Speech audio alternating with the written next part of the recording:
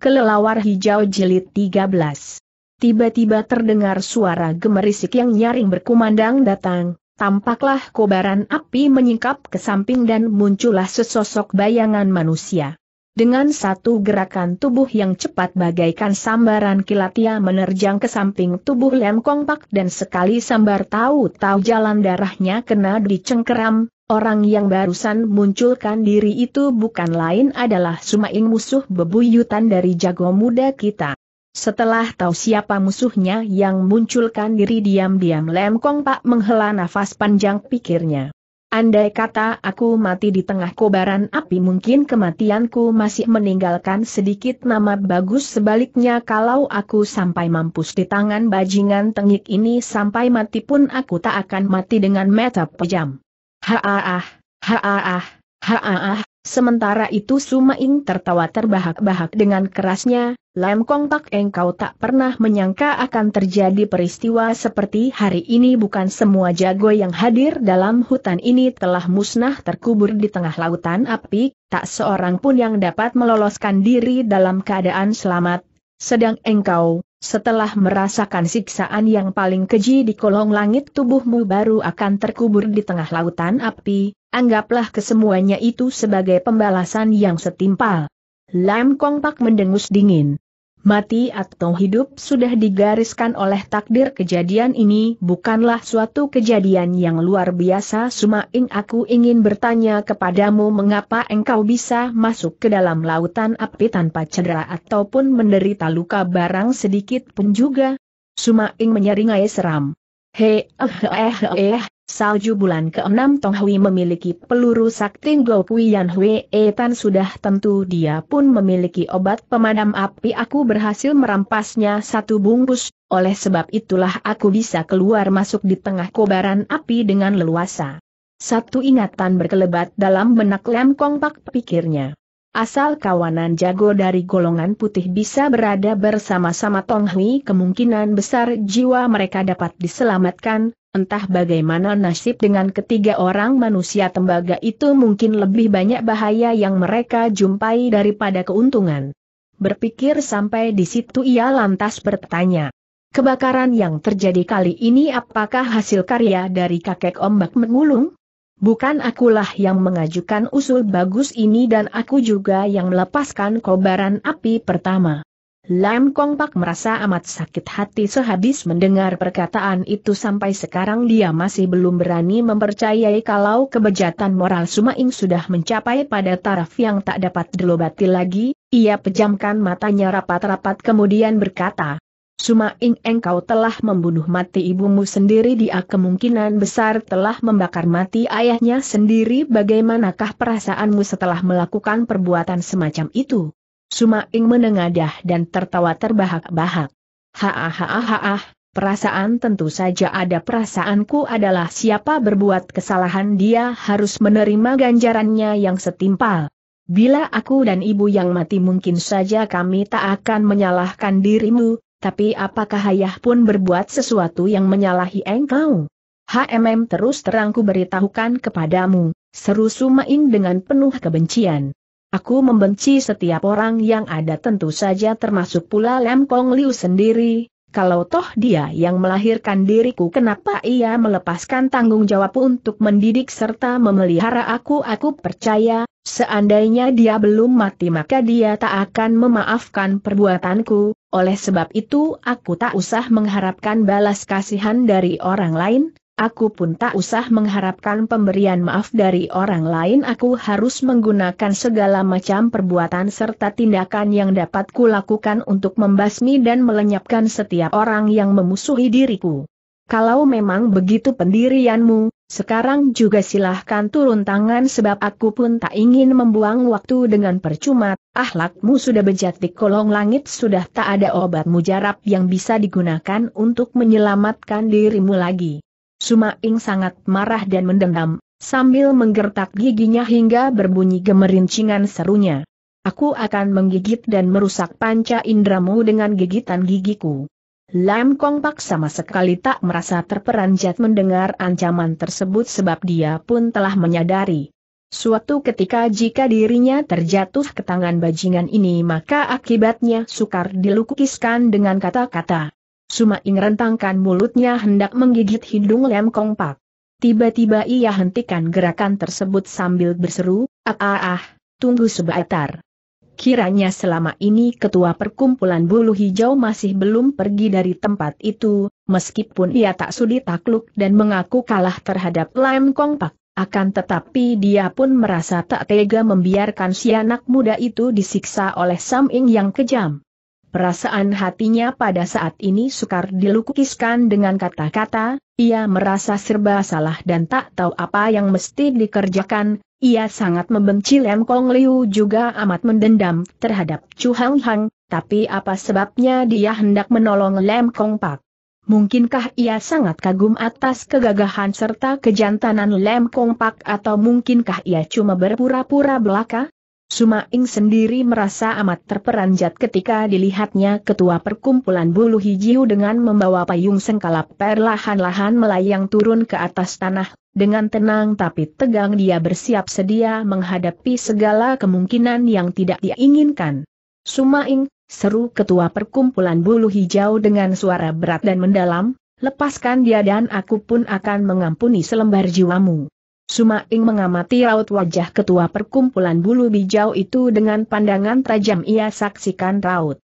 Wajah kedua orang itu penuh berpelopotan darah, nada suaranya lemah dan sama sekali tak bertenaga taulah pemuda itu bahwasanya kedua orang jago tersebut sudah pasti baru saja melangsungkan pertarungan sampai ribuan jurus banyaknya. Itu berarti pula kekuatan mereka sudah tak perlu ditakuti lagi yang dikhawatirkan sekarang hanya daya hancur yang kuat dari senjata payung sengkala. Sumaing segera tertawa dingin. Heeh, heeh, heeh, untuk melindungi keselamatan sendiri pun engkau sudah tak mampu, dengan andalkan kekuatan apa engkau hendak mencampuri urusan orang lain? Dengan mengandalkan senjata payung sengkala ini sahut ketua perkumpulan bulu hijau ketus. Huh, kalau engkau ingin bertindak dengan gunakan kekerasan, itu berarti engkau menginginkan sesosok mayat dari Lem Kong Pak. Ketua perkumpulan bulu hijau mengerti kalau pada saat itu tak mungkin baginya untuk turun tangan dengan suara berat dia segera menegur, apa yang hendak kau lakukan? Jika engkau inginkan persoalan ini secara baik, dan engkau pun harus menyanggupi dahulu sebuah permintaanku. Cepat katakan. Dengan payung sengkala itu diatur dengan manusia, engkau bersedia untuk melakukan atau tidak seru Sumaing dengan suara yang amat mendalam. Begitu ucapan tersebut diutatakan keluar, bukan saja ketua perkumpulan bulu hijau merasakan sekujur badannya gemetar keras, bahkan Lem Kong Pak sendiri pun sampai membuka matanya dan menengok ke arah ketua perkumpulan bulu hijau itu. Tanpa berpikir panjang ketua perkumpulan bulu hijau berkata dengan suara berat baik ku kabulkan permintaanmu itu tapi aku pun tahu kalau engkau si bangsa cilik berhati kejam akan kelicikannya. Tiada tandingan di kolong langit perkataanmu sama sekali tak dapat dipercaya. Dan ibaratnya kentut busuk bagaimana caranya aku dapat mempercayai perkataanmu itu. Huh, engkau tak usah banyak bacot lagi, Pokoknya sebelum payung sengkala itu terjatuh ke tanganku, aku tak akan melepaskan Lem Kong Pak kalau engkau tidak inginkan diri Lem Kong Pak maka payung sengkala itu pun tak usah kau serahkan kepadaku. Mendengar pembicaraan tersebut, dengan cepat Lem Kong Pak berpaling ke arah ketua perkumpulan bulu hijau seraya berkata, Saudara, dengan diutarakannya maksud hatimu itu, aku Lam Kong Pak sudah merasa amat berterima kasih sekali, aku harap engkau tak usah mengorbankan diri begitu haruslah diketahui andai kata payung sengkala itu sampai terjatuh ke tangan iblis terkutuk ini maka dunia persilatan tak akan memperoleh hati yang tenang sepanjang masa, aku tak mau dikarenakan keselamatanku hingga mendatangkan bencana dan musibah bagi umat persilatan. Engkau keliru besar sahut ketua perkumpulan bulu hijau dengan suara berat, di kolong langit tiada benda mustika yang bisa langgeng, payung sengkala hanya merupakan suatu benda sampingan yang tak mungkin bisa dimiliki sampai mati sekalipun setelah mendapat benda mustika itu maka dia dapat malang melintang, Toh hal itu hanya bersifat sementara akhirnya dia tak akan memiliki benda itu untuk selamanya tentang masalah ini engkau tak perlu terlalu mengkhawatirkan. Sumaing tertawa seram tiada hentinya pada saat itu kain cadar yang menutupi wajahnya sudah dilepas hingga mukanya yang menyeringai seram terlihat nyata. Metu kirinya telah buta hidungnya telah hancur dan tinggal dua lubang yang hitam dan besar kulit kepalanya terkelupas dan wajahnya porak-poranda akibat terbakar oleh air racun Sam Cheng Sui ditambah lagi gigi taringnya yang menonjol keluar membuat tampangnya benar-benar mengerikan sekali. Ujung baju kirinya terselip di balik pakaiannya karena lengan kirinya sudah kutung, tampang yang jelek seram dan mengerikan inilah merupakan sebab utama mengapa dia amat mendendam terhadap setiap umat manusia yang ada di dunia, ia tak pernah memeriksa kesalahan sendiri tak pernah terlintas dalam benaknya kalau ganjaran seberat itu diterima olehnya akibat perbuatannya sendiri. Sumaing kata ketua perkumpulan bulu hijau.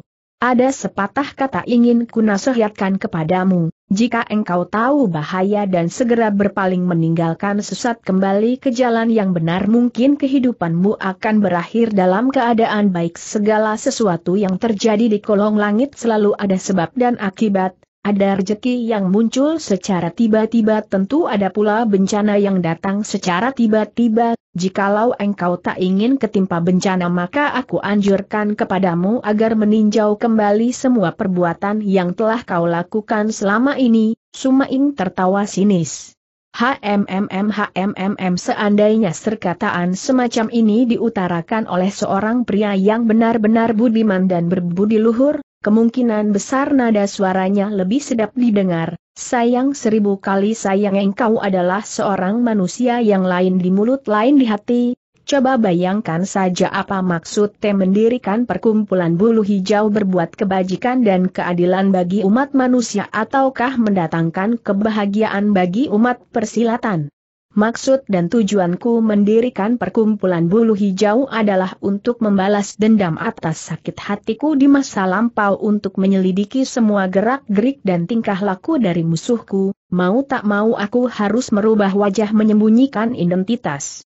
Sumaing engkau harus tahu, kendatipun aku yang mendirikan perkumpulan bulu hijau, tapi aku tak pernah satu kali pun lakukan perbuatan terkutuk yang mencelakai ataupun merugikan sesama umat persilatan, tujuanku hanya berusaha untuk menyembunyikan diri dari penyelidikan orang saja. Siapakah engkau? Andai kata engkau bersedia untuk bertobat dan menyesali semua perbuatan yang pernah kau lakukan aku segera akan memberitahukan kepadamu siapakah aku yang sebenarnya? Sumaing tertawa seram. Semua orang di kolong langit sama-sama menderita satu penyakit yang tak bisa diobati lagi, penyakit itu adalah belum pernah rasakan penderitaan dan siksaan, bicara tak pernah merasakan sakit atau gatal, yang diucapkan saja kata-kata yang manis dan gagah. Aku Sumaing sudah kenyang merasakan penderitaan dan segala macam siksaan hingga keadaan berubah jadi manusia tidak mirip manusia setan tak mirip setan. Adakah engkau anggap aku bersedia sudahi persoalan ini sampai di sini saja? Bencana dan rejeki datang tanpa pintu. Engkau sendirilah yang mengundang penderitaan diri sendiri, coba bayangkan saja perbuatanmu manakah yang tidak terkutuk dan disumpah orang perbuatan bajik? Manakah yang pernah kau lakukan? Tanda tanya. Tutup mulut Hardi Sumaing penuh kegusaran, aku bukan datang kemari untuk mendengarkan nasihatmu, ayo cepat jawab engkau bersedia melakukan barter atau tidak dengan aku? Lam Kongpak selama ini membungkam tiba-tiba berkata, setelah mendengar pembicaraan dari Ciampoe barusan. Aku pun jadi sadar dan mengerti memang benar tujuan. Ciampue mendirikan perkumpulan bulu hijau adalah guna menyelidiki musuh besarmu dan sama sekali tak pernah melakukan perbuatan-perbuatan yang merugikan orang lain, oleh sebab itulah aku nasihatkan kepada Ciampue agar jangan mencampuri urusanku lagi, Sumaing adalah saudara seayah lain ibu dengan aku. Bila aku sampai mati di tangannya, tiada persoalan yang bisa kukatakan lagi, Ciampue jangan sekali ciri-ciri, menukar aku dengan payung tersebut, janganlah karena tindakan ini sehingga menanam bibit bencana bagi umat persilatan, Jikalau sampai begitu keadaannya maka aku akan menyesal dan sepanjang masa mati tak meram. Muka si anak muda itu memancarkan kegagahan dan kejujuran seakan-akan sama sekali tak pikirkan mati hidupnya lagi, ia tahu lebih jelas andai kata ketua perkumpulan bulu hijau membatalkan niatnya untuk mengadakan barter. Dengan bajingan itu maka perbuatan apa yang bakal dilakukan Sumaing terhadap dirinya. Tapi kesemuanya itu sama sekali tak menggoyahkan keputusan hatinya, sebab ia lebih menitik beratkan pada kepentingan umum daripada siksaan badaniah, sebab penderitaan itu ada batas-batasnya. Terdengar ketua dari perkumpulan bulu hijau berkata, aku telah mengambil keputusan bulat dan engkau pun. Tak usah keras hati lagi, semua kejadian sudah digariskan. Oleh takdir, sekalipun payung mustika ini sudah terjatuh ke tangan kaum durjana yang sesat, belum tentu ia dapat memanfaatkan kedahsyatan mustika ini sebagaimana mestinya. Sumaing, ayo serahkan dulu bubuk pemadam api itu kepadaku. Kita toh hanya berjanji kau serahkan payung dan aku serahkan orang persetujuan ini tidak diimbel ciri-ciri dengan syarat lain, kenapa aku harus serahkan bubuk ini kepadamu? Kebakaran besar yang melanda hutan ini tak mungkin padam dalam 3-5 hari, setelah ku serahkan payung mustika ini kepadamu dengan payung itu engkau bisa lolos dari medan kebakaran ini dalam keadaan selamat, tapi bagaimana dengan kami berdua? Baiklah kau harus letakkan dulu payung mustika itu ke atas tanah, setelah itu aku pun akan letakkan bubuk pemadam api ini ke tanah, kita saling mendekat dan menyambut satu sama lainnya, setelah ku serahkan lem kong pak kepadamu jika kita berdua yang satu ambil payung yang lain ambil bubuk pemadam api bukankah care ini adil sekali? Baik, kalau begitu kita lakukan begitu saja. Dua orang itu pun letakkan benda yang dipertukarkan di atas tanah. Sumaing sambil masih mencekal urat nadi di atas pergelangan lem kong pak perlahan-lahan maju mendekat. Ketika ketua dari perkumpulan bulu hijau mengulurkan tangannya untuk menerima lem kongpak, tiba-tiba saja Sumaing yang sudah punya pikiran jahat melepaskan cekalannya pada pemuda lem kong tersebut dan berbalik mencengkeram urat nadi dari ketua perkumpulan bulu hijau. Luka dalam yang diderita ketua perkumpulan bulu hijau tidak kalah parahnya dengan luka yang diderita lem kongpak. Apalagi pada saat itu segenap perhatian ditujukan ke arah pemuda Lemkong karena khawatir Sumaing main licik ia sama sekali tak mengira kalau Sumaing bisa berontak menyerang dirinya. Dalam keadaan sama sekali tak siap tak mungkin baginya untuk menghindarkan diri lagi, urat nadinya segera kena dicengkeram. Lam Kong merasa amat terperanjat, Sementara ia hendak kebaskan tangan Sumaing untuk merampas payung sengkala tersebut siapa tahu Sumaing sudah punya rencana masak dalam benaknya, sekali sentak ia bikin Lem Kong Pak jadi lemas dan kehilangan segenap kekuatan tubuhnya. Lem Kong Pak jadi geram bercampur mendongkol, teriaknya dengan penuh kegusaran, Sumaing sebetulnya engkau masih terhitung sebagai seorang manusia atau tidak? Sumaing tertawa seram. Haah, haah, haah, dalam pandanganmu toh aku sudah bukan seorang manusia lagi kenapa kalian mesti menilai tinggi ahlaku kalian mau percaya toh kesalahan kalian sendiri. Begitu ucapan terakhir meluncur keluar dari bibirnya ia segera lepas tangan dan laksana kilat melancarkan dua totokan dahsyat yang merobahkan dua orang jago itu.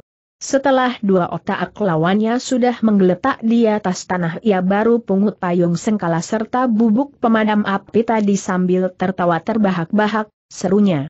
Setelah kalian berdua dilenyapkan dari muka bumi, mulai detik itu juga aku Sumaing akan malang melintang dalam dunia persilatan, apa pun yang kukatakan tak ada yang mampu melarang, ha ha ha ha ha.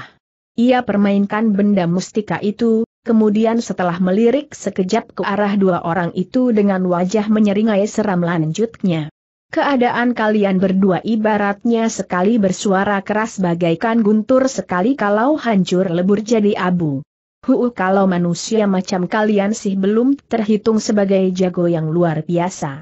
HMM mulai sekarang hanya aku Sumaing yang akan malang melinlang di mana-mana. Setelah berhenti sebentar, Ia memandang ke arah Lem Kong Pak dengan sorot mata penuh kebencian, sambungnya dengan nada dendam.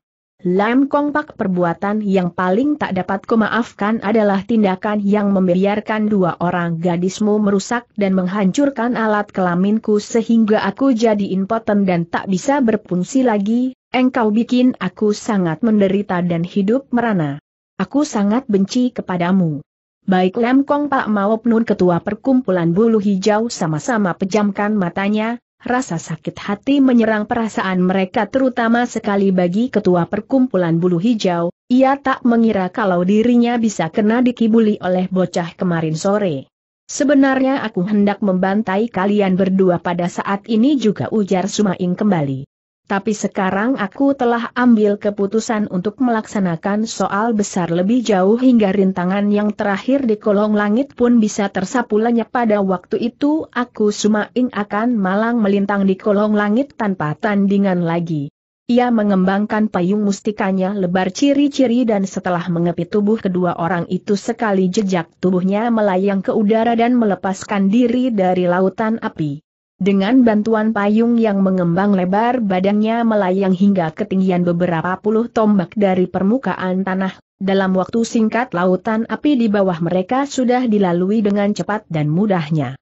Payung mustika merupakan benda mustika yang langka di kolong langit, benda itu dapat membawa orang melayang di angkasa serta bergerak menurut kehendak hati. Tentu saja untuk berbuat demikian seseorang membutuhkan latihan yang cukup lama hingga tenaga dalamnya benar-benar mencapai pada puncaknya, sebab bagi orang yang memiliki tenaga dalam yang rendah kendati pun memiliki payung mustika tersebut tak mungkin benda tersebut akan memberikan daya yang begitu besar. Sumaing bersuit panjang di tengah langit yang merah karena kebakaran, tubuhnya melayang keluar dari lingkaran yang berbahaya dan meluncur ke atas tonjolan batu karang setinggi beberapa tombak. Sekarang ia benar-benar mempunyai perasaan seakan-akan dunia telah menjadi miliknya, sebab asal siasat kecilnya berjalan pula dengan lancar hingga manusia lihai terakhir pun telah disingkirkan maka dunia persilatan akan jatuh ke dalam kekuasaannya. Sesosok bayangan manusia meluncur datang dari kejauhan, paras muka Sumaing yang jelek dan menyeramkan terlintas suatu senyuman yang mengerikan hati, ia melayang turun dari atas batu karang tersebut. Orang yang baru saja munculkan diri itu bukan lain adalah kakek ombak menggulung, ketika ia lihat ketua perkumpulan bulu hijau serta lem kongpak sudah menjadi tawanan, wajahnya nampak terperangah. Meskipun kejadian ini merupakan suatu peristiwa yang patut digembirakan, tetapi dari dasar hati kecilnya diam-diam timbul kedengkian yang sangat tebal, pikirnya di dalam hati. Orang ini berhati kejam dan sangat berbahaya sekali, ditambah pula ambisinya untuk merajai dunia persilatan sangat besar jika payung mustika itu sampai terjatuh ke tangannya maka itu berarti kedudukanku pun akan terancam bahaya, bagaimanapun juga aku harus berusaha keras untuk singkirkan bajangan cilik ini dari muka bumi. Keadaan dari dua orang itu ibarat anjing kelaparan di bawah daging yang tergantung, masing-masing pihak saling mengincar lawannya, namun kedua ciri-cirinya tak sampai perlihatkan perasaan hatinya itu di depan mata. Terdengar kakek ombak menggulang tertawa terbahak-bahak. Haah muridku ternyata aku tak keliru menyayangi engkau selama ini, mulai sekarang kita akan memimpin dunia persilatan dan menguasai seluruh kalong langit. Aha suhu, engkau terlalu memuji ketidakbecusan Tecu, keberhasilan Tecu selama ini tidak lain adalah hasil didikan dari suhu selamanya Tecu tak berani melupakan budi kebaikan suhu yang telah mendidik serta memelihara Tecu selama ini. Eeei eeei, muridku engkau kok malahan bersikap sungkan-sungkan dengan aku, wah kamu ini. Haa Dua orang itu saling berpandangan sambil tertawa terbahak-bahak, suaranya keras hingga menggetarkan empat penjuru dan memantul ke mana-mana, seakan-akan mereka hendak menggunakan gelak tertawa itu untuk saling mengadu kekuatan. Setelah tertawa tergelak beberapa saat lamanya mati mereka sudah basah oleh air mata, namun mereka sama-sama saling bertahan dan mengukur kekuatan masing-masing. Dalam pandangan Sumaing, Gembeng iblis tua itu tidak berhak untuk menguasai kolong langit dia hanya pantas untuk mengiringi kekuasaannya belaka.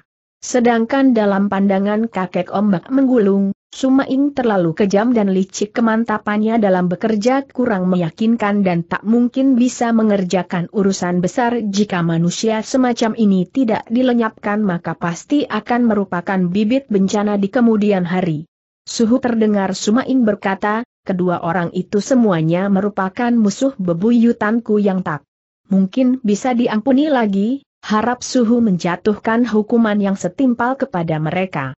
Muridku jawab kakek ombak menggulung dengan cepat, persoalan yang paling menggembirakan bagi orang persilatan adalah pembalasan dendam yang terakhir dengan cepat, Lem Kong Pak telah membuat engkau jadi begini rupa, sudah sepantasnya kalau berbuat sesuai dengan keinginan hatimu urusan balas dendam biarlah ku serahkan kepadamu saja untuk melakukan sendiri. Baiklah kalau begitu aku akan menyiksa mereka lebih dahulu dengan satu siksaan yang paling keji di kolong langit, kemudian nyawa mereka baru dicabut. Sudah sepantasnya kalau engkau berbuat demikian, nah sekarang engkau boleh segera turun tangan. Ah ah, ah nanti dulu, Tecu hendak serahkan dahulu benda mustika ini kepada suhu sambil berkata dia angsurkan payung mustika itu ke depan. Kakek ombak menggulung segera tertawa terbahak-bahak.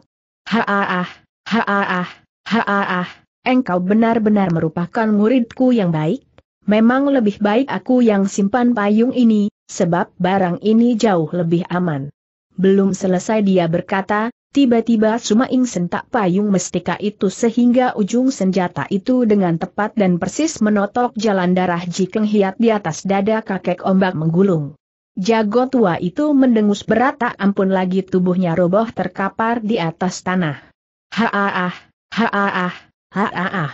Sumaing tertawa seram. Sekalipun engkau lebih licik, jangan harap bisa terlepas dari perhitungan aku orang Sisuma yang jitu. HHM, HHMM, aku tahu kalau dalam hati kecilmu sudah timbul ingatan. Jahat ketika untuk pertama kalinya engkau melihat bahwa aku berhasil menangkap dua orang ini dan payung sengkala tersebut terjatuh ke tanganku pandangan matu serta perubahanmu. Kamu telah beritahu kepadaku bahwa engkau mengandung maksud tak baik. Leblis tua engkau sudah terlalu lama malang melintang di kolong langit, sekalipun harus mati rasanya engkau bisa mati dengan mata terpenjam rapat. Kakek ombak menggulung pejamkan mata dan membungkam, paras mukanya yang kurus kering sama sekali tak terlintas rasa kaget ataupun terperanjat. Sumaing kembali tertawa dingin. Heh heh heh, iblis tua tenang amat engkau pandai benar engkau menekan perasaan hatimu, aku tak percaya kalau engkau sama sekali tak takut mati. Kakek ombak menggulung tetap berbaring dengan mata terpejam, paras mukanya tenang sekali. Ketua perkumpulan bulu hijau serta Lem Kongpak yang mengayaksikan kejadian itu diam-diam menghela nafas panjang, dalam pandangan pemuda si Lem Kong kejadian ini patut disesalkan olehnya. Ia mempunyai beberapa kali kesempatan baik untuk membinasakan penjahat tersebut tapi akhirnya timbul perasaan tak tega dalam hati kecilnya hingga mengakibatkan terjadinya peristiwa seperti hari ini. Dalam pandangan ketua perkumpulan bulu hijau, sejak dahulu ia sudah tahu kalau Sumaing berakhlak bejat dan berhati busuk tapi ia tak menyangka kalau kebusukannya sudah mencapai taraf yang tak mungkin bisa diobati lagi.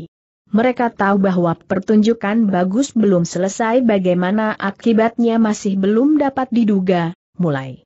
Sekarang walaupun begitu ketua perkumpulan bulu hijau telah ambil keputusan, ia harus menggunakan tipu muslihat untuk menyelamatkan jiwanya serta jiwa Lem Kong Pak.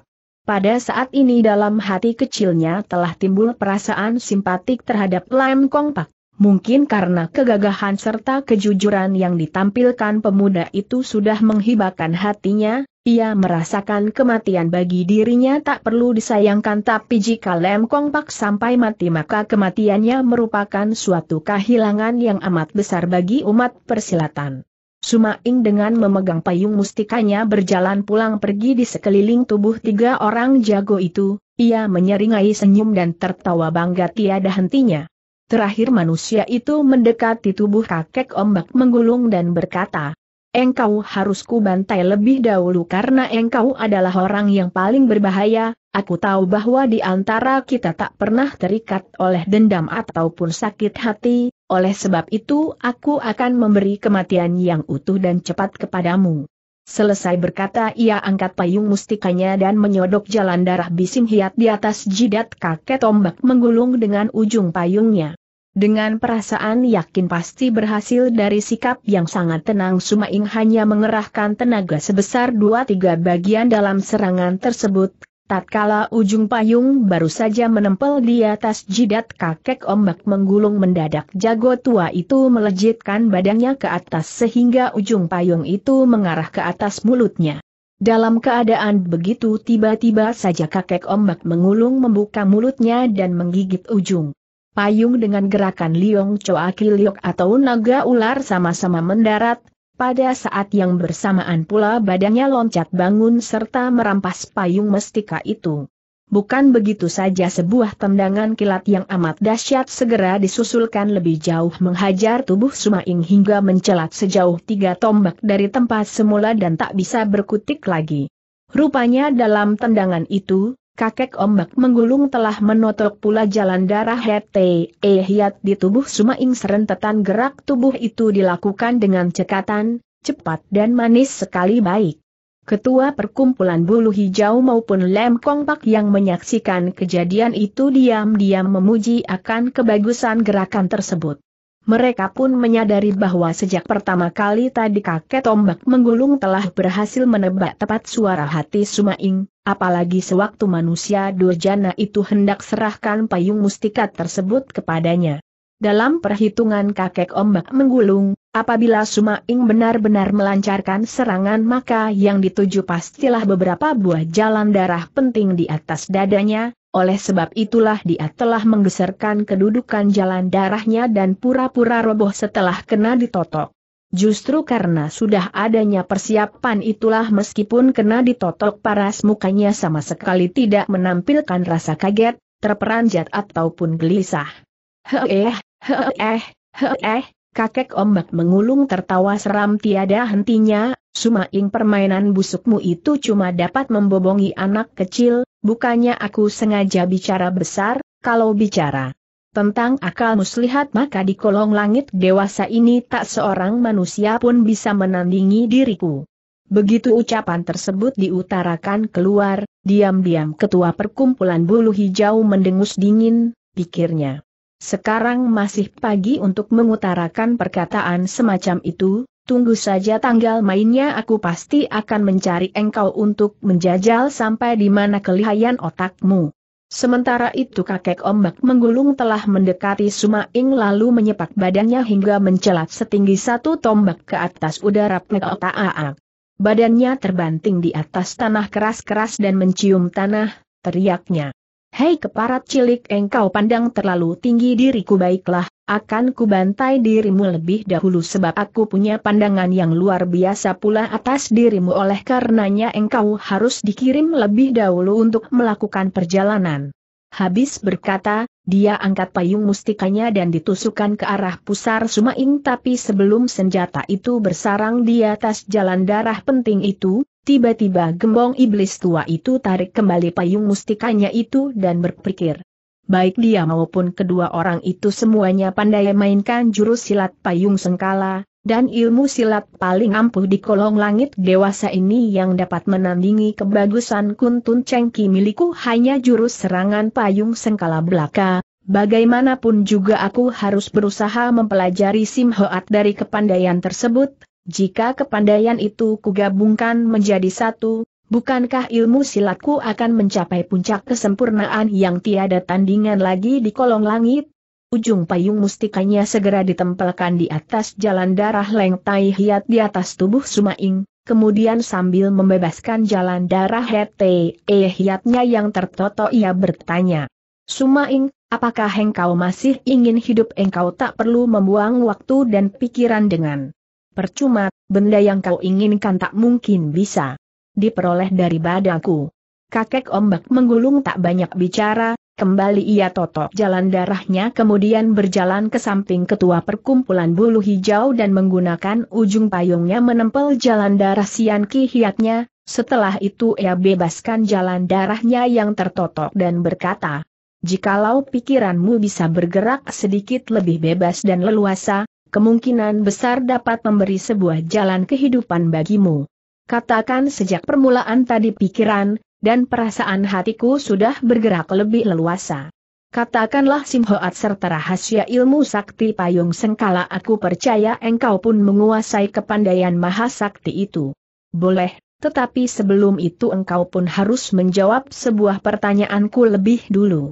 Tidak engkau yang harus memberi jawaban lebih dahulu kepadaku. Ketua dari perkumpulan bulu hijau segera pejamkan matanya rapat-rapat dengan suara dalam ia berseru. Kalau begitu ya sudahlah lebih baik turunlah tangan secepat mungkin. Kakek ombak menggulung menyeringai seram. He, ahem he, ahem he, ahem tak nyana tulangmu ternyata begitu keras baiklah bagaimanapun juga engkau toh tak akan nanti lepas dari cengkeramanku, ajukanlah pertanyaanmu itu, Pertama engkau harus memberi air minum lebih dahulu kepadaku, karena darah yang mengalir keluar dari badanku terlalu banyak sekarang aku merasa haus sekali, setelah hasku hilang pembicaraan baru dapat dilangsungkan. Kakek ombak menggulung lepaskan tempat airnya dan diletakkan di tepi mulutnya, tanpa sungkan-sungkan ketua perkumpulan bulu hijau segera menghabiskan air yang ada itu hingga tanpa sisa. Setelah berhenti sebentar, ia baru melanjutkan, baiklah sekarang aku hendak ajukan pertanyaan kepadamu. Ia berpikir sebentar kemudian lanjutnya. Tempo dulu sewaktu San Hon siang ke tempat Chu Hang Hang untuk mencuri kitab pusaka payung sengkala dan di dalam pertarungan itu Chu Hang Hang kena dipukul hingga terjatuh ke dalam jurang menurut pengakuan San Hon siang tenaga dalam yang digunakan pada waktu itu cuma 5-6 bagian belaka, dengan tenaga dalam yang dimiliki Chu Hang Hang pada saat itu tak mungkin ia bisa terjerumus ke dalam jurang, apakah engkau yang turun tangan secara diam-diam? Sekujur badan kakek ombak menggulung bergemetar keras, dengan suara lantang ia membentak. Siapakah kau? Tak usah banjak bertanya, aku sudah pasti bukan sanak keluarga dari Chu Hang Hang maupun San Hon Siang aku. Hanya ingin mengetahui latar belakang duduknya perkara itu. Kakek ombak menggulung tertawa dingin. Heh heh heh, dengan tenaga dalam yang kau miliki saat ini, Aku rasa di masa lampau engkau bukan seorang yang tak bernama, kenapa aku sama sekali tak kenal dengan dirimu. Dalam dunia persilatan yang begitu luas dan lebar jago berkepandaian tinggi tak terhitung banyaknya apakah engkau yakin kalau kenal dengan setiap manusia di kolong langit? Kakek ombak menggulung tertawa seram tiada hentinya. HMM bagaimanapun juga, sepantasnya kalau engkau mempunyai nama bukan? Aku si Ciu bernama Hok dengan julukan kakek penasaran berkain hijau. Baik kakek ombak menggulung maupun lem kongpak sama-sama terperangah sesudah mendengar nama itu, sebab baik nama maupun julukannya luar biasa istimewanya bukan saja tak pernah terdengar bahkan kedengarannya janggal sekali jelas membuktikan bahwa nama tersebut bukanlah nama aslinya. Lam Kongpak dengan cepat dapat menyelami arti dari jululan tersebut, Kakek penasaran berkain hijau seakan-akan memberi artikan kalau ia mengenakan kain hijau di atas kepalanya itu berarti pula kalau orang ini mempunyai seorang istri yang tidak setia dan sudah menyeleweng dengan orang lain. Satu ingatan dengan cepat berkelebat dalam benak Lem Kongpak, teringat olehnya bahwa ketua perkumpulan bulu. Hijau pernah mencaci maki Chu Hang Hang habis-habisan suatu kali ia pernah berkata kepada perempuan itu. Aku akan kumpulkan kalian lelaki perempuan jahanam yang telah berbuat zinah dan penyelewengan, kemudian akan turun tangan serentak. Tanda petik.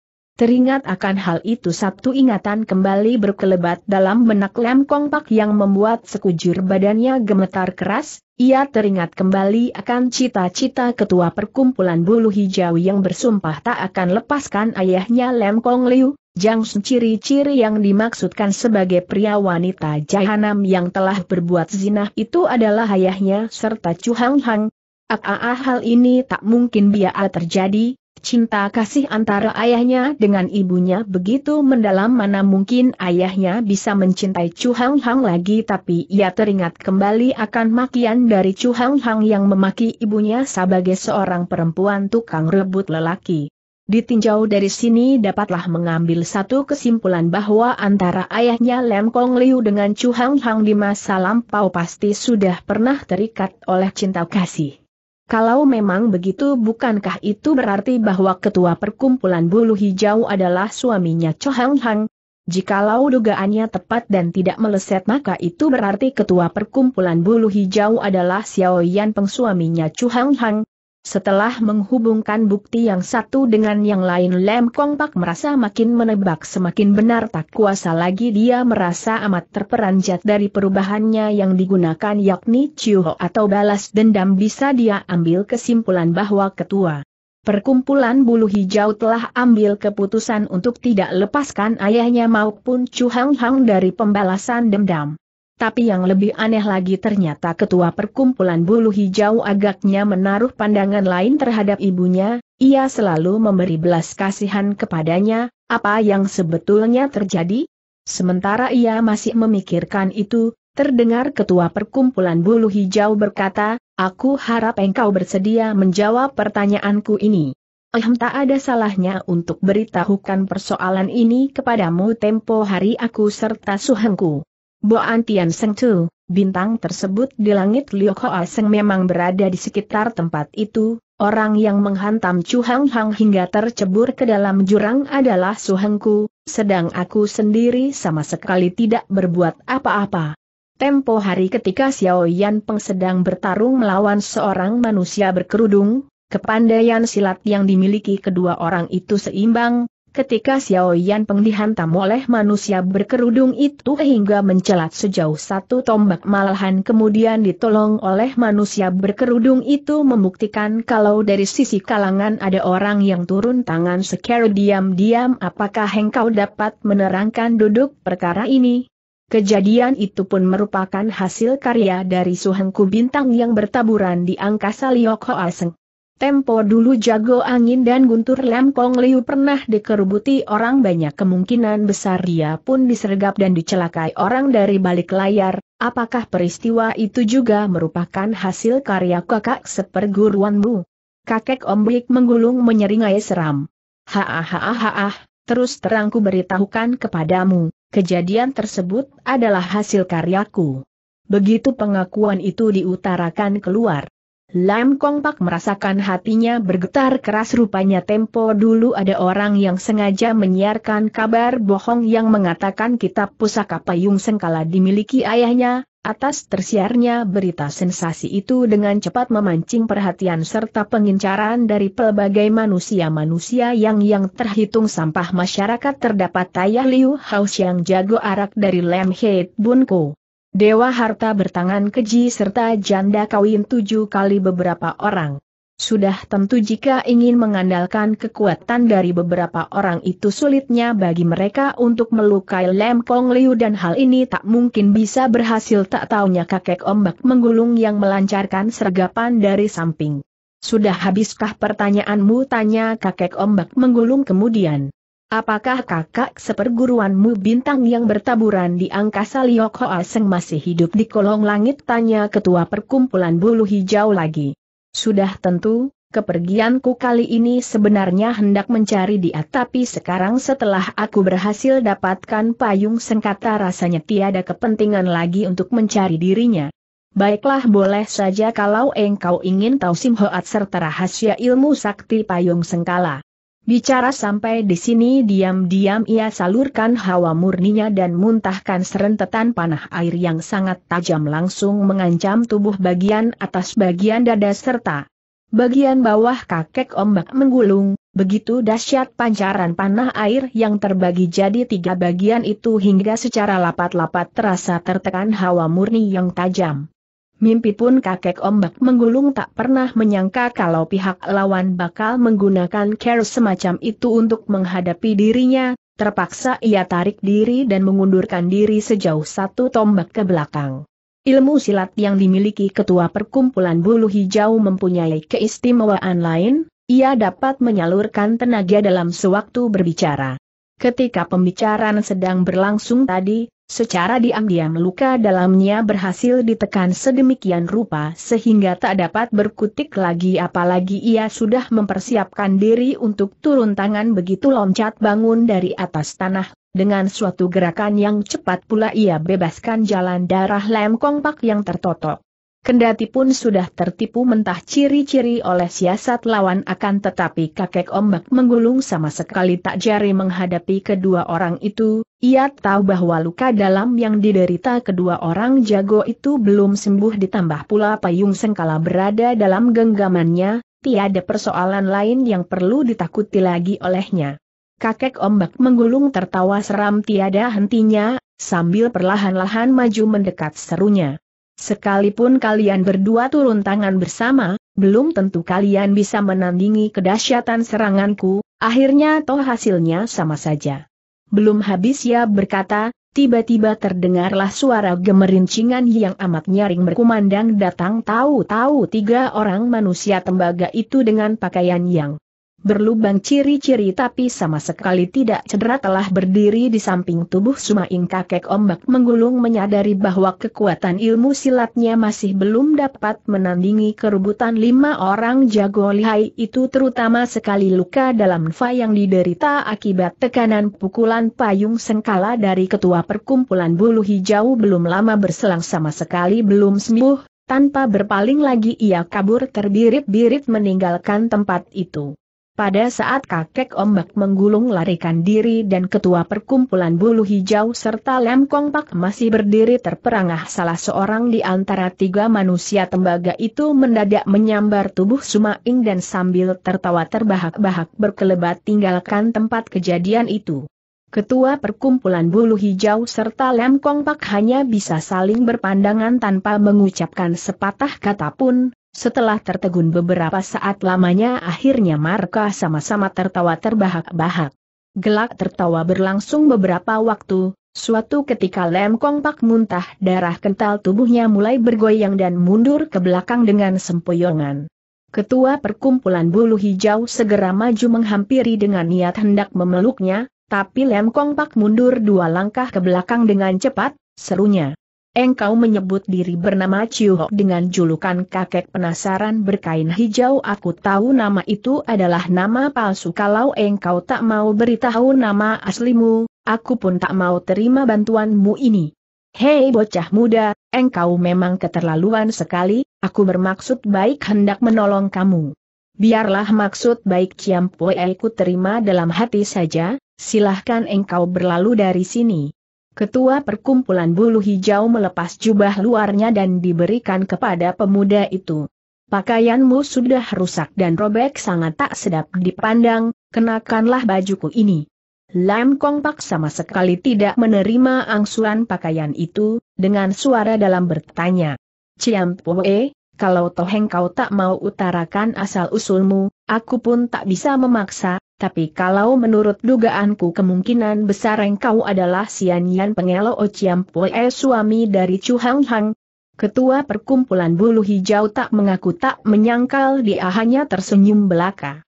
Ciam Poe, aku ada satu persoalan hendak ditanyakan kepadamu, ujar Lemong Pak kembali.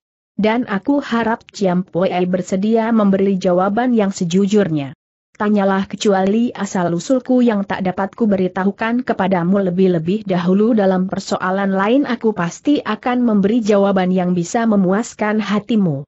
Aku masih ingat kalau Ciam Poe pernah gunakan ilmu hipnotis Tong Beng Hok Goan Toa Hoat terhadap salah seorang di antara tiga manusia tembaga itu, tolong tanya manusia tembaga yang terpengaruh oleh ilmu hipnotis Tong Beng Hok Goan Toa Hoat tersebut telah pulih kembali kesehatannya?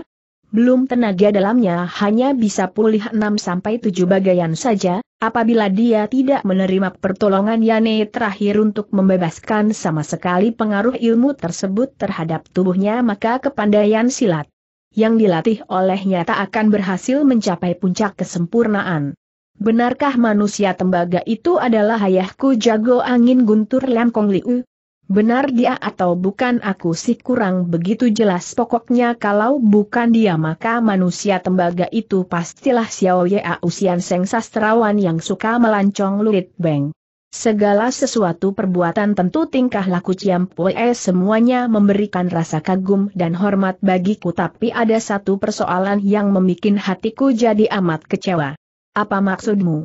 Kalau toh Ciampoe telah menyerupai manusia tembaga itu untuk melaksanakan ilmu hipnotis Tong Bin Bok Goan Toa Hoat maka sudah menjadi kewajiban bagimu untuk bertindak sampai ke akhirnya kenapa engkau sengaja tinggalkan satu bagian hingga kesembuhannya tak sempurna tindakan semacam ini sangat menyesalkan hatiku.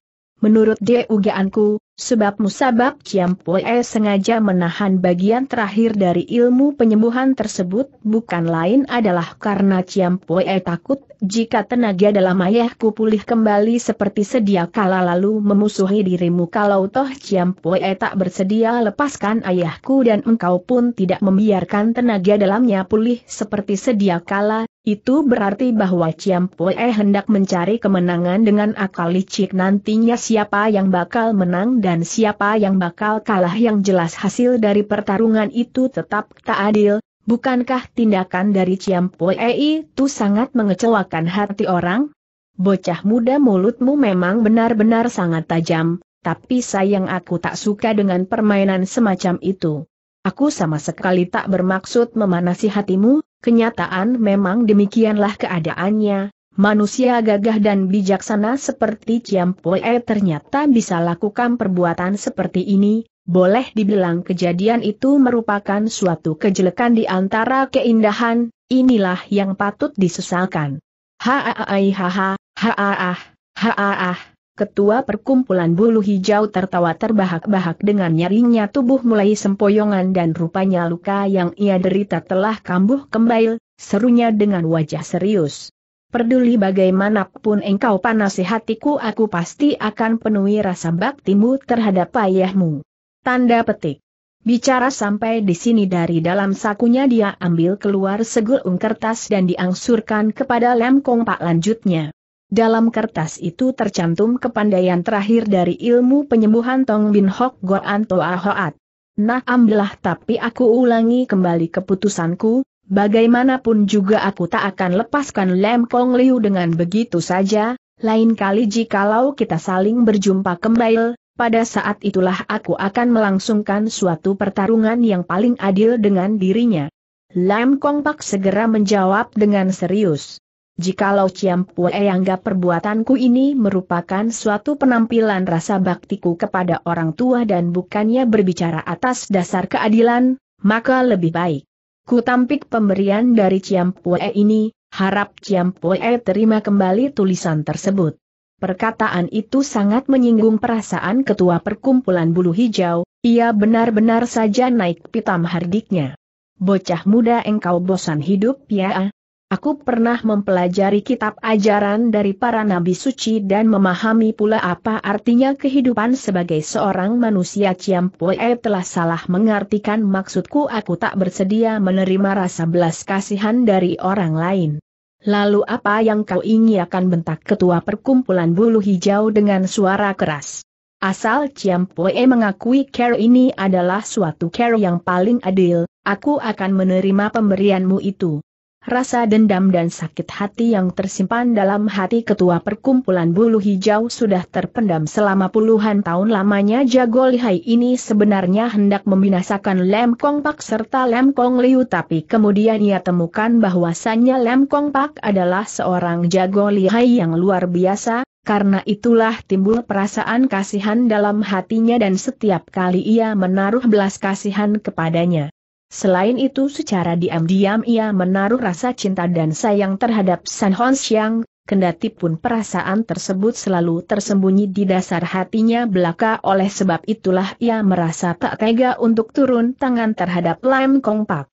Dan sekarang si anak muda itu menunjukkan kebandelan yang sukar dikendalikan hal ini membangkitkan hawa amarahnya hingga sukar dibendung lagi segera hardiknya. Bocah muda kalau engkau benar-benar ingin mati, aku akan segera penuhi harapanmu itu. Lam Kong Pak silangkan tangannya di depan dada dan menjawab tawa. Ciam Pue pernah lepaskan budi kepadaku bagi orang persilatan yang pernah menerima kebaikan orang maka sudah sepantasnya untuk membalas kebaikan itu lebih dari apa yang pernah diterima, jikalau Ciam Pue memang hendak menyempurnakan diriku silahkan engkau segera turun tangan aku tidak akan membalas walau sedikit pun juga. Bocah muda kau anggap aku benar-benar tak berani untuk membinasakan dirimu seru ketua perkumpulan bulu hijau dengan suara dingin. Lam Kong Pak pejamkan matanya rapat-rapat kemudian menjawab dengan tenang. Aku tak akan menganggap keselamatan jiwaku sebagai suatu permainan belaka itu berarti aku tak akan melakukan perbuatan yang bagiku dianggap tak masuk akal. Ketua perkumpulan bulu hijau mendengus dingin, dengan langkah lebar ia maju ke depan telapaknya dengan himpunan tenaga penuh siap dibacokkan ke atas batok kepala pemuda itu. Kendati pun isi perutnya terluka parah tapi dalam gusarnya yang tak terkirakan tenaga yang dihimpun cukup tangguh dan mengejutkan hati. Sambil berpeluk tangan Lem Kong Pak pejamkan matanya rapat, tubuhnya sama sekali tak berkutik barang sedikit pun juga, mukanya memancarkan kehalusan dan keagungan, membuat orang lain tak berani memandang rendah akan dirinya. Ketua perkumpulan bulu hijau menghela nafas panjang ia tarik kembali telapaknya sambil mundur satu langkah ke belakang bisiknya lirih.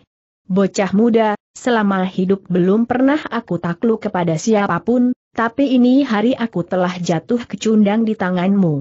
Ciam Pue tak usah merendahkan derajat sendiri, dari sikap Ciam Pue yang tak tega membinasakan diriku sudah jelas membuktikan bahwa Ciam Pue adalah seorang pendekar tua yang berjiwa besar dan berpandangan luas. Bocah muda ketua perkumpulan bulu hijau kembali menghardik, kalau engkau masih keras kepala dan berpegang teguh pada pandangan sendiri jangan salahkan kalau aku akan berubah pandangan dan lebih baik melakukan suatu perbuatan yang bertentangan dengan perasaan hati sendiri dan membinasakan dirimu. Aku dapat memahami sikap Ciampue tersebut, aku tahu Ciampue berbuat demikian hanya ingin menakut ciri-ciri diriku belaka sebab buat seorang pendekar besar, seorang Enghiong Hohan, tak mungkin ia bersedia melakukan suatu perbuatan yang akhirnya akan disesalkan sepanjang masa. Ketua perkumpulan bulu hijau tak sanggup menahan diri lagi laksana sambaran kilatia melancarkan sebuah gaplokan keras yang tepat bersarang di atas pipi Lem Kongpak. Dengan sempoyongan si anak muda itu mundur dua langkah ke belakang, noda darah mengotori ujung bibirnya sambil menahan sakit ia berseru.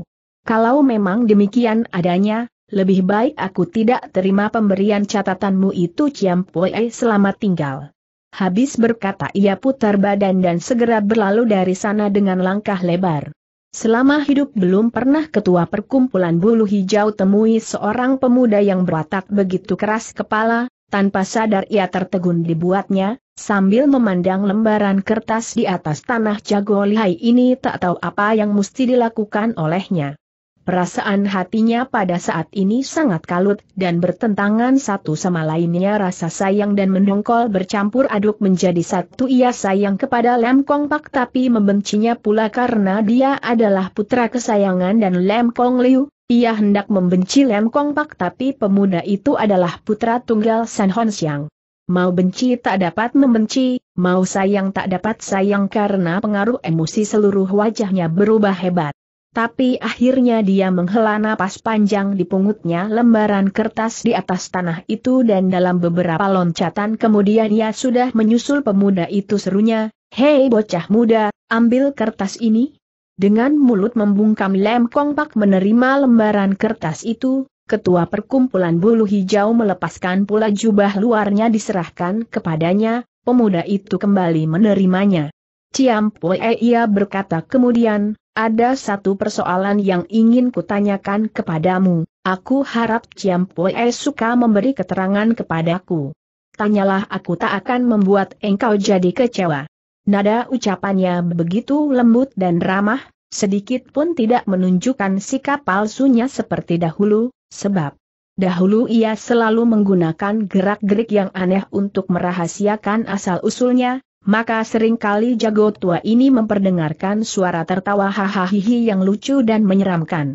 Terdengar Lem Kong Pak berkata, Belum lama berselang, dalam pertemuan besar manusia tembaga semuanya telah hadir delapan orang manusia tembaga salah satu di antaranya adalah aku yang lain adalah Ciampoe dan yang ketiga adalah kakek ombak menggulung, selain itu masih ada sisa lima orang, dua di antaranya adalah Padri Naga dan Imam Harimau tiga orang terakhir dua di antaranya kemungkinan adalah ayahku Lam Kong Liu serta guruku Lurit Beng siapa sih orang yang terakhir?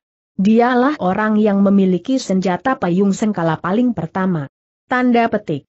Tentang soal itu aku sudah tahu, yang kutanyakan siapakah orang itu kalau toh dia pandai memainkan jurus-jurus serangan payung sengkala itu berarti orang tersebut mempunyai hubungan yang akrab sekali dengan Cuci Ampoe. Dialah kakek tua berpakaian desa yang pernah kau jumpai, sekali lagi Lem Kong Pak mengangguk berulang kali. Aku telah menduga bahwa kemungkin besar dia adalah kakek desa tersebut, tapi siapakah kakek desa itu sendiri? Dia adalah mega hitam pengejar rembulan Oei Cihu.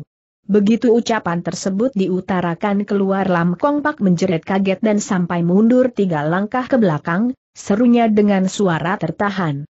Apa dia adalah Wei Chiampoe atau dengan perkataan lain sahabat karib dari Xiaoyan Peng Chiampoe di masa lampau? Ketua Perkumpulan Bulu Hijau mendengus dingin, HMM ucapanmu benar. Dengan sedih Lam Kong Pak menundukkan kepalanya rendah-rendah. Karena kurang hati-hati, aku telah membuyarkan hawa murni bayi sakti yang sedang dilatih olehnya sehingga merusak hasil latihannya selama 60 tahun, hingga kini aku tetap merasa tak tenang hati karena peristiwa itu. Sekali lagi ketua perkumpulan bulu hijau mendengus dingin jelas ia sama sekali tidak menaruh perasaan simpatik atau kasihan terhadap awan gelap pengejar rembulan Oei Cihu.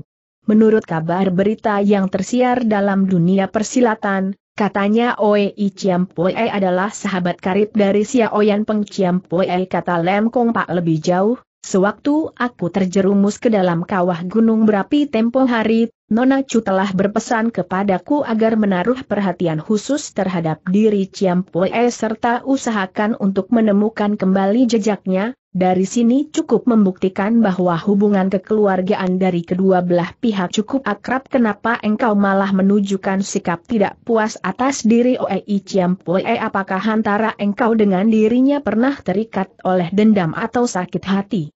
Untuk sementara waktu persoalan ini tak dapat kuberitahukan padamu, ujar ketua perkumpulan bulu hijau dengan nada dingin, tapi aku hendak memperingatkan akan satu hal, meskipun kepandaian silat dari kakek ombak menggulung masih belum cukup untuk merajai kolong. Langit, tapi suhengnya bintang yang bertaburan di angkasa Liok Hoa Seng adalah seorang manusia yang sangat berbahaya sekali kelihayan ilmu silat yang dimilikinya sukar diukur dengan kata-kata, menurut apa yang kudengar ilmu silat yang dimiliki kakek ombak menggulung didapatkan dari kakak seperguruannya ini, dari sini bisa dibayangkan betapa lihai dan luar biasanya orang itu. Ilmu silatnya adalah tanda petik Kuntun liat Wei E Jigi Keng atau gabungan dua hawa murni ombak menggulung dan kobaran api dahsyat. Lam Kong Pak terperangah sesudah mendengar jawaban ini dengan keheranan ia berseru, aneh benar sebutan dari kepandaian ampuhnya itu.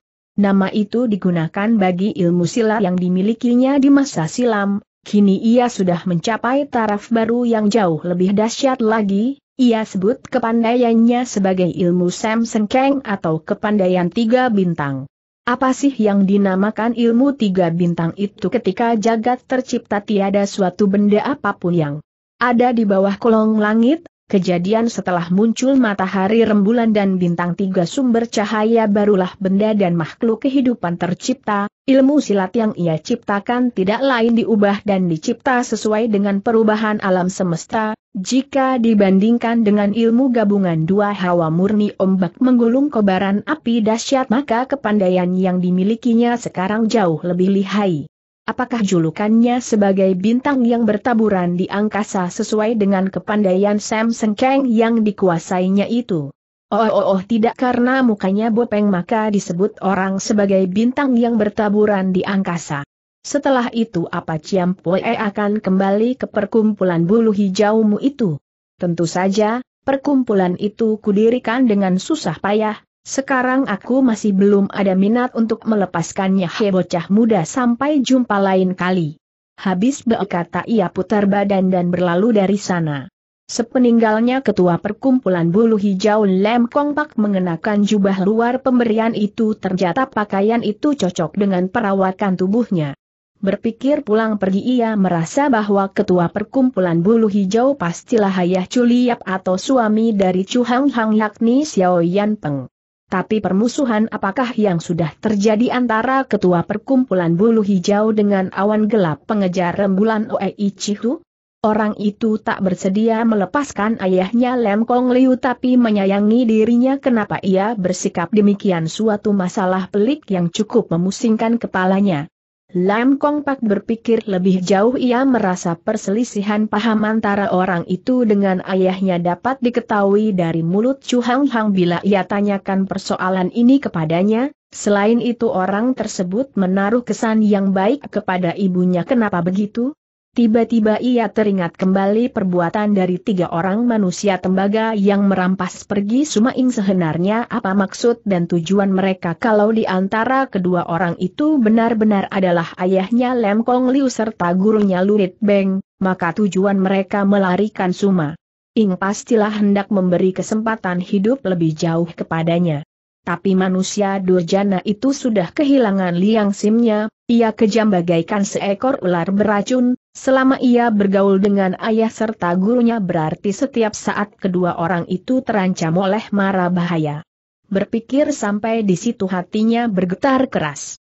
Ia harus segera temukan kembali manusia sia tembaga itu, selain itu ia teringat kembali AAN nasib dari San Honsya yang sekalian yang tak menentu sekeliling tempat kebakaran telah dicarinya dengan teliti, Api telah padam namun tak sesosok mayat pun yang berhasil ia temukan di antara puing ciri-ciri yang berserakan itu. Pemuda itu segera berpikir kembali. Sekarang ini perutku yang terluka belum sembuh, sekalipun berhasil kutemukan mereka belum tentu bisa membantu apa-apa kepada mereka, lebih baik cari tempat untuk menyembuhkan luka dalamku saja.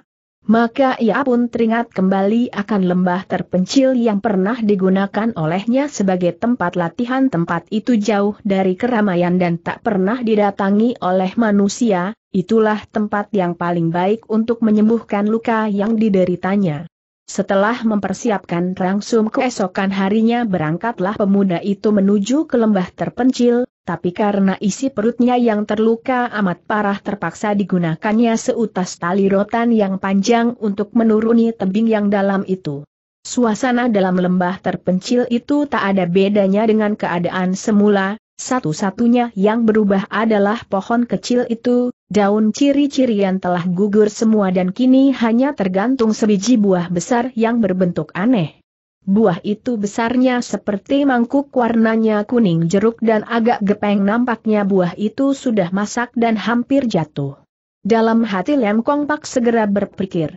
Daun pohon itu adalah sebuah benda mustika yang langka di kolong langit, buahnya pasti tak ternilai harganya. Dia matinya buah itu dengan lebih seksama, dalam buah agaknya terdapat cairan yang bergerak ke sana kemari di tengah cairan tersebut seakan-akan terdapat beberapa titik hitam yang sedang bergerak-gerak titik hitam itu mirip sekali dengan berpuluh-puluh ular kecil berwarna hitam. Bau harum semerbik menyebar ke empat penjuru, ranting yang menggantung buah itu sudah retak sedikit. Rupanya sebentar lagi akan terjatuh ke atas tanah. Dengan kedua belah tangannya pemuda itu memegang buah besar itu lalu menggigit dan membuat sebuah lubang kecil di atas buah tadi kemudian dihisap kuat ciri-ciri sari yang mengandung dalam buah itu. Seruup, cairan dalam buah itu mengalir masuk ke dalam perutnya dan terasa segar, nyaman dan nikmat sekali, sama sekali tidak mengandung bau dan rasa aneh dari dedaunannya. Lam Kong Pak mengisap buah itu berulang kali sehingga kulit buah menjadi berkeriput dan kempes saat itulah secara lapat-lapat ia merasakan adanya biji ciri-cirian di antara cairan itu, ketika digigit dengan giginya berbunyi gemerutukan yang amat nyaring.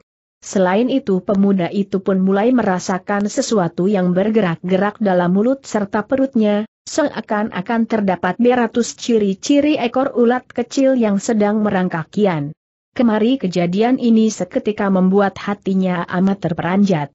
Dengan cepat kulit buah yang berkeriput serta kempes itu diperiksa dengan seksama, mendadak ia menjerit kaget dan mundur selangkah ke belakang rasa mual dan ingin muntah menyerang tubuhnya. Ternyata di antara cairan buah tadi terdapat berpuluh-puluh ekor ulat kecil berwarna hitam, tubuhnya hitam pekat dan memancarkan cahaya yang berkilauan. Lam Kong Pak ingin muntahkan kembali isi perutnya namun tak berhasil, ia tahu entah berapa ratus ulat kecil masuk ke dalam perutnya, pemuda itu tak menyangka kalau buah tersebut telah berulat, dengan hati sedih diam-diam ia memaki akan keteledoran dan kegegabahan tindak tanduknya. Kini pemuda itu rasakan ulat ciri-ciri kecil tersebut telah berhenti bergerak, sedangkan buah yang keriput di atas pohon pun sudah jatuh ke atas tanah meluncur jadi cairan dan lenyap terserap dalam tanah. Dalam keadaan begini Lem Kong Pak hanya bisa berpikir dalam hati kecilnya. Kalau rezeki sudah pasti bukan bencana, kalau bencana tak mungkin bisa kuhindari. Pasrah deh sama nasib. Ia berjalan ke tepi kolam kecil, meneguk sedikit sumber air, kemudian masuk ke dalam gua karang. Baru saja pemuda itu akan duduk bersemedi untuk melihat bayi saktinya setingkat lebih maju mendadak satu ingatan berkelebat dalam benaknya, ia teringat kembali Padri Naga serta Imam Harimnu pernah berlatih ilmu pula di tempat ini, dengan begitu bukankah berarti kecuali gua. Karang ini masih ada gua lain yang jauh lebih rahasia letaknya? Tanpa berpikir panjang lagi ia keluar gua karang itu dan berjalan menuju ke arah lain, Tak lama kemudian ia benar-benar menemukan sebuah gua yang bentuknya lebih besar. Setelah masuk ke dalam gua sejauh kurang lebih 350 tombak udara di sekitar situ kian lama kian bertambah panas bahkan sering kali terdengar suara deruan api seakan-akan ada kobaran api yang terhembus angin. Goa itu makin ke dalam menjorok makin ke bawah udara pun kian lama kian bertambah panas ketika meraba dinding terasa panas menyengat badan, Kejadian ini membuat hatinya amat terkejut pikirnya. Di luar gua hawa udara terasa sangat nyaman kenapa dalam gua ini begitu panas hingga menyengat badan jangan angan mulut gua ini adalah sebuah kawah gunung berapi? Diam-diam ia merasakan bahwa selama ini beberapa kali sudah dilewatkan tanpa terasa, sekujur badannya basah kuyup oleh air keringat, membuat kepalanya nanar dan matanya berkunang-kunang seakan-akan tubuhnya dipanggang di atas sebuah tungku api. Dengan wataknya yang seras kepala, hanya ada jalan maju tak ada jalan mundur, makin sulit persoalan yang dihadapi makin besar hasratnya untuk memecahkan persoalan itu. Setelah berjalan lebih jauh ke depan, tubuhnya benar-benar terasa amat panas bagaikan ada di atas tungku, tapi pemuda itu sempat merasakan adanya gulungan angin dingin berhembus lewat dari arah yang lain karena itulah. Meskipun suhu udara di sana lebih panas pun tidak sampai menghanguskan badan. Tiba-tiba ia kaget hingga berdiri terperangah, Pakaian yang dikenakan di atas tubuhnya hancur jadi abu ketika terhembus angin hancuran pakaian itu berhamburan di atas tanah membuat si anak muda itu dalam waktu singkat sudah berada dalam keadaan telanjang bulat. Dalam keadaan seperti itu hampir saja pemuda itu kehilangan semangatnya untuk melanjutkan perjalanan tapi setelah jauh masuk ke dalam gua apakah dia harus membatalkan niatnya itu di tengah jalan? Lagi pula kendati pun suhu udara dalam gua itu panas sekali sehingga pakaiannya hancur berkeping ciri-ciri namun tubuhnya sama sekali tidak merasakan sesuatu apa pun. Perjalanan selanjutnya kembali pemuda itu menyururi gua itu masuk jauh lebih ke dalam tak lama kemudian sepatunya hancur menjadi abu membuat pemuda itu telanjang total dari atas sampai ke bawah kakinya. Dalam keadaan begini Lem Kong Pak benar-benar dibuat kehabisan akal, mau menangis tak bisa mau tertawa pun tak dapat, pikirnya. Untung di sini tak ada orang kalau tidak niscaya orang-orang akan memaki aku sebagai seorang yang tak tahu malu. Di atas tubuhnya kini tinggal sebuah senjata tanduk naga yang masih tergantung di atas pinggang, ketika tanduk naga itu membentur dinding gua batu putih berguguran di atas tanah dan berubah jadi bubuk halus, ketika berhembus angin bubuk itu tersebar ke mana-mana dan lenyap tak berbekas.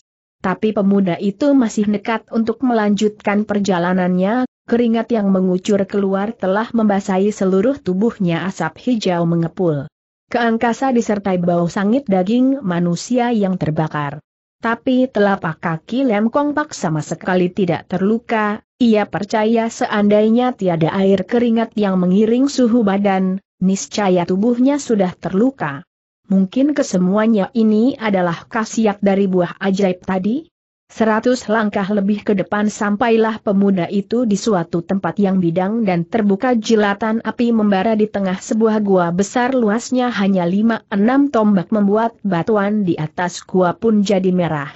Kobaran api itu berada di bawah dinding gua, daerah sekitar tiga tombak tak mungkin bisa didekati lagi, pada dinding gua terpancanglah selembar batu taili yang terukir tulisan ciri-ciri lembut ketika didekati maka terbacalah isinya.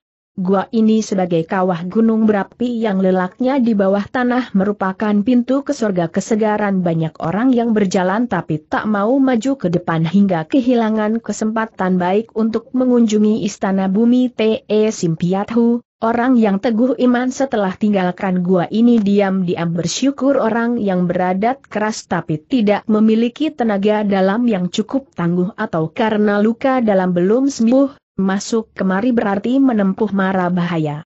Aaai, banyak orang di kolong langit yang sebenarnya lemah tapi mampu dilakukan, Mekeka tak tahu adat keras tapi tak kuat badan itu berarti hanya mencari kematian bagi diri sendiri oleh sebab itulah kuanjurkan kepada setiap pendatang, jika tidak memiliki kemampuan yang luar biasa janganlah sekali punya ingatan untuk masuk ke dalam gua ini meskipun istana Te Simpiathu hanya berjarak beberapa jengkal namun kenyataan ibarat perbedaan di antara alam baka dan dunia.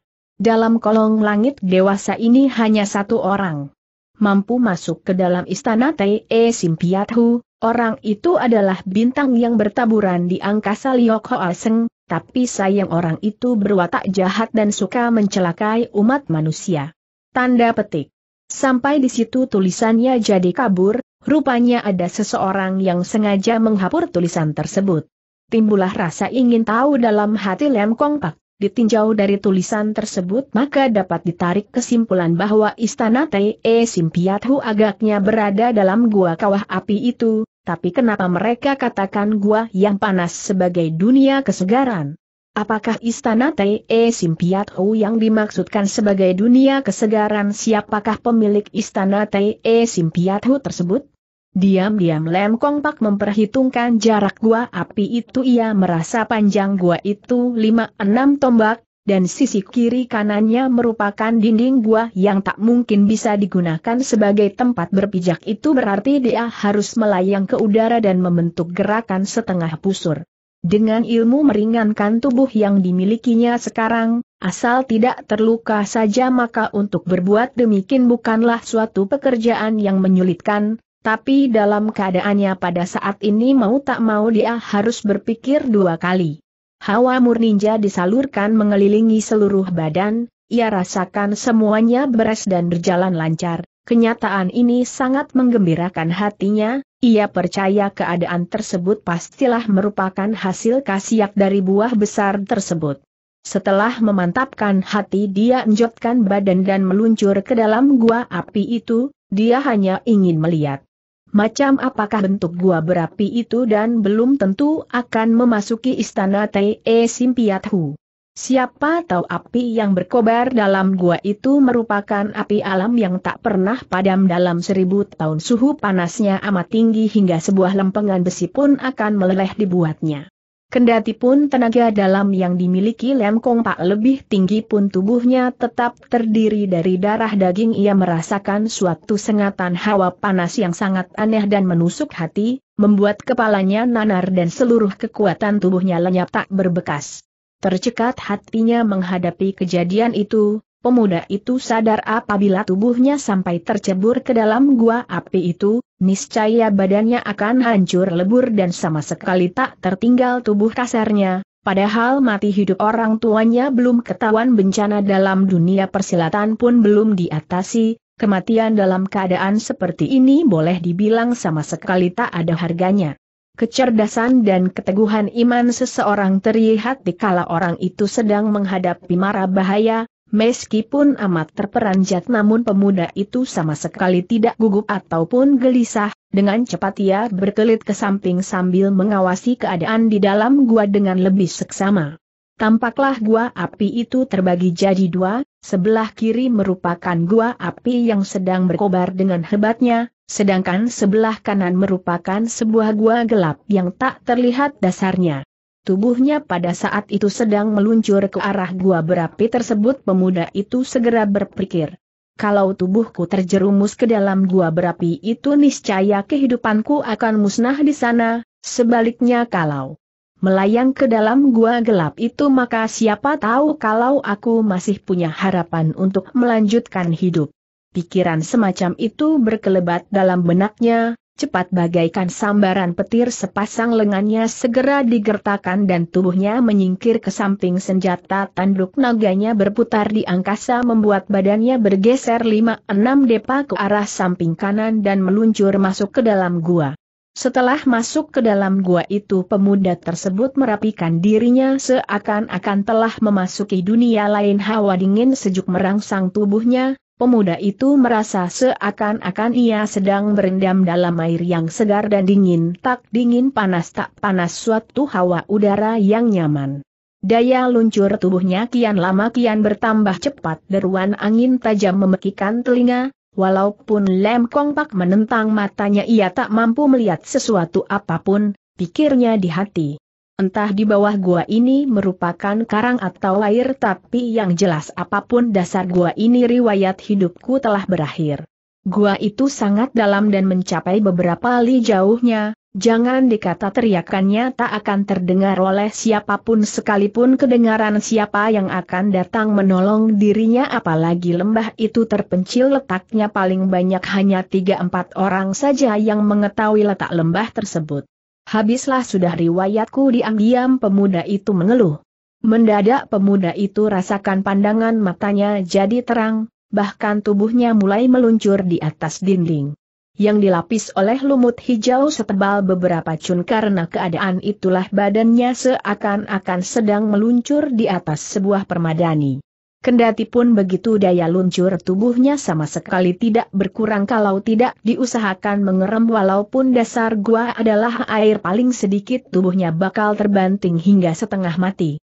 Setelah mempunyai kesempatan untuk melanjutkan hidup pemuda itu segera berusaha mati-matian untuk mempertahankan hidupnya, tanduk naga yang berada di dalam genggamannya ditusukkan berulang kali di atas permukaan lumut hijau itu, setelah ditusukkan berulang kali maka daya luncur badan pun jauh makin berkurang. Peluung tubuhnya ternyata tercebur ke dalam sebuah kolam yang penuh dengan makhluk-makhluk bulatan yang lunak dan mengembung bagaikan bola. Ketika ia muncul kembali di atas permukaan air mulutnya penuh dengan makhluk lembung bulat itu bahkan dengan cepatnya meluncur masuk ke dalam perut dan terasa bau amis yang memualkan. Ternyata pemuda itu berada di tengah sebuah kolam kecil, di atas kolam terapung beribu-ribu ekor makhluk bulat yang berwarna merah bagaikan buah kelengkeng bentuknya mirip sekali dengan telur ikan dan baunya amis memualkan. Dengan susah payah Lem Kongpak merangkak keluar dari kolam itu ia merasa tubuhnya sama sekali tak cedera, hanya saja telur ciri-ciri ikan yang terlanjur masuk ke dalam perutnya terasa asin sekali. Setelah memeriksa keadaan di sekitar tempat itu diam-diam pemuda itu makin keheranan dibuatnya, ternyata di tepi. Kolam kecil itu terdapat sebuah kolam yang amat besar, luasnya mencapai puluhan tombak dan dalamnya sukar diukur, hawa dingin yang menusuk tulang terhembus keluar dari kolam itu ternyata sebab munculnya hawa dingin itulah yang membuat gua di tepi kawah itu terasa nyaman bukan main. Tiba-tiba Lam Kong Pak menemukan sesuatu yang aneh, tampaklah dua ekor ikan lehi yang besar dan berwarni keemas-emasan sedang berhenti di antara kolam besar dan kolam kecil, berpuluh-puluh butir telur ikan berhamburan dari anus mereka dan mengalir ke dalam kolam kecil. Sekarang Lem Kong Pak baru tahu bahwa makhluk bulat yang berada dalam kolam kecil itu ternyata adalah telur-telur ikan leih besar, belum pernah ia lihat tiga jalur garis merah di atas punggungnya. Keanehan bukan terbatas sampai di situ saja di tepi kolam besar dan kolam kecil masing-masing terdapat sebidang hutan batu yang rucing ciri-ciri dan menjulang ke atas bagaikan sebuah tiang dengan lebar satu dipas sebab luas hutan batu runcing itu mencapai 5-6 tombak lebih. Di tengah-engah hutan batu duduklah tiga orang kakek tua yang bertubuh telanjang, masing-masing duduk berbentuk segitiga di tengah kerumunan batu runcing tersebut, Paras muka mereka merah padam sepasang mata, terpejam dan tubuhnya berwarna kuning.